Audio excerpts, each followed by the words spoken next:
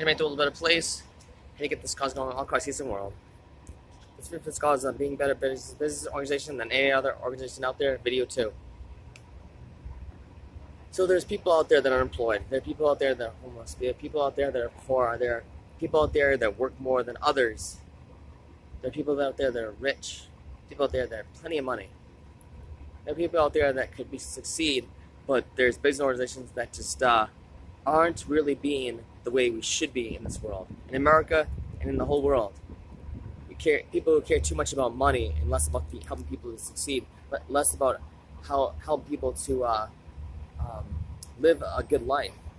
When did life become about so much about money and about our own individual success, our own success when it comes to business? Let's be amazing when it comes to helping each other to succeed in business. Isn't business really about like making life better for humanity, for everyone, for the whole world? It should be. It's not though a lot of the time. Too often, um, business becomes taken too seriously.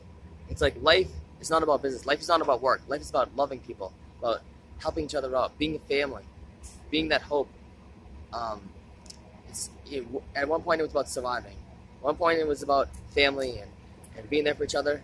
Let's bring that back. Let's, let's be that hope for everyone. Be a part of Mason College. Make a better place together.